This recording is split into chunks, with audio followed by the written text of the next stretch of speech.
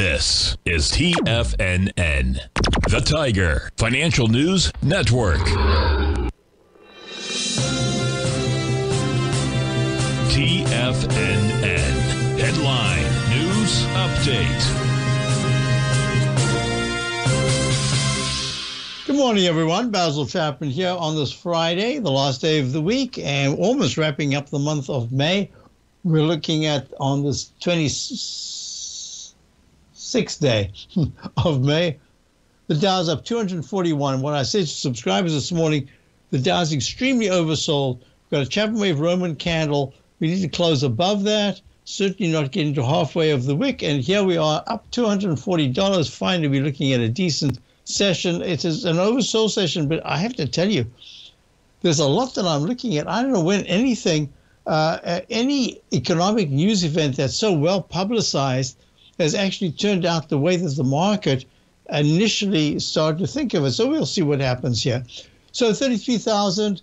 Uh, we're looking at the Dow, very nice. Finally got back to 33,000. 33,000, I think is 130 is the 200 period moving average resistance. The S&P had a fabulous couple of days. Um, and now it's, uh, sorry, a couple of days with a turnaround yesterday, including today, up uh, 30 points at 4180.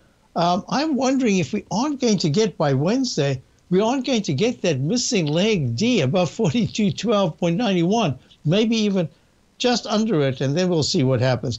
QQQ, of course, had a spectacular session yesterday. Well, you won't believe it, but today it's up again, up almost four dollars at 343.66. Buying is coming in. So I'll talk about that in my show coming up in the next few minutes, the Tiger Technicians Hour. This is it's fascinating to see what's happening through this upside rotation through the different sectors. Now, I just wanted to do this quickly while we've got time. Gold, uh, gold to rally. It's up about four dollars, 1966. It's really struggling here, but at the same time, the dollar's had a very good move to the upside.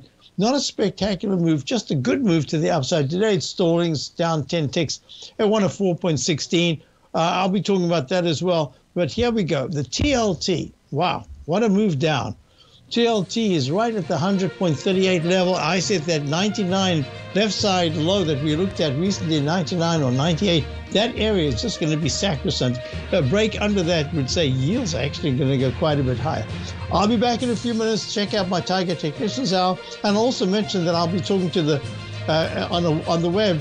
Uh, Boston Investors Group on Wednesday evening at 7 p.m. I'll talk about it when we get back.